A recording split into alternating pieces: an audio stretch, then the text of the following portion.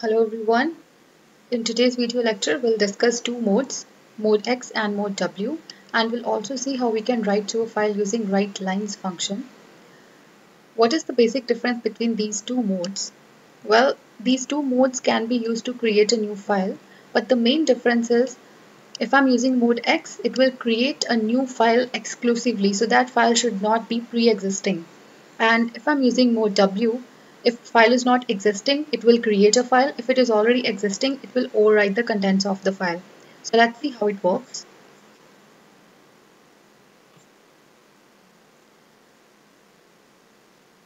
So this is the file that we were working on, myfile.txt, and this file is already existing. So to create a new file, first I'll show you how ModeX works.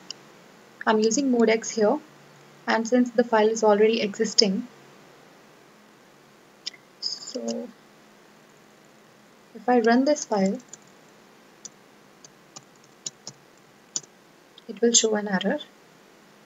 It says file exists right? And see this file is already existing and I have written contents in it. Well actually that doesn't really matter if you have written the content.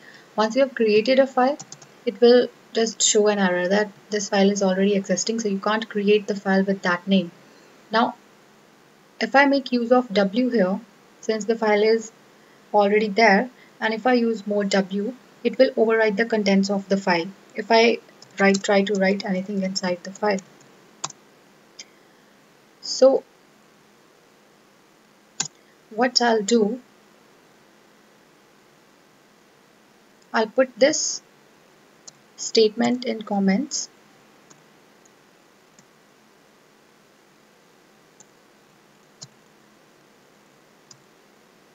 and instead of using myfile.txt I'll use new file.txt here. I'll save it. And now if I run this file it will not show an error.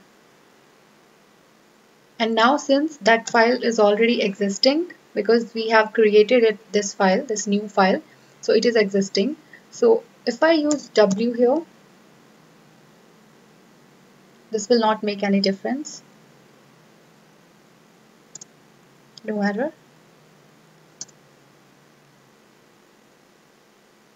Because it doesn't matter if file is already existing or we're creating a new file. But if I use mode X here,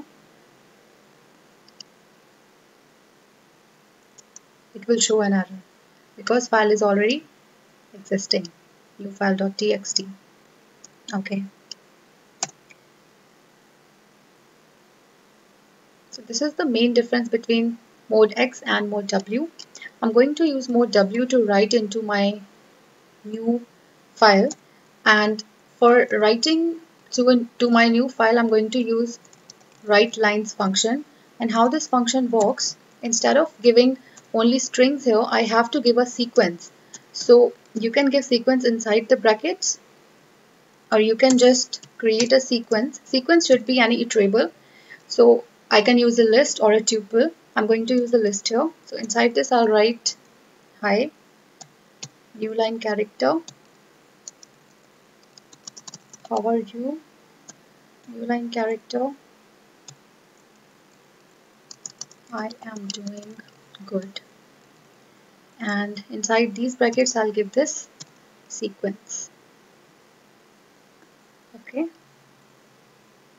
I'll execute it and now let us see the contents of our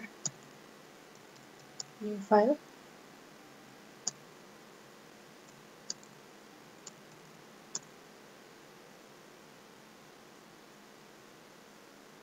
As you can see these are the contents of our new file.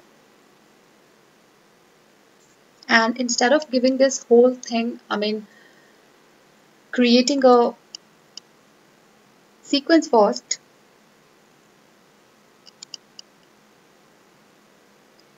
you can do one more thing. You can copy paste this whole line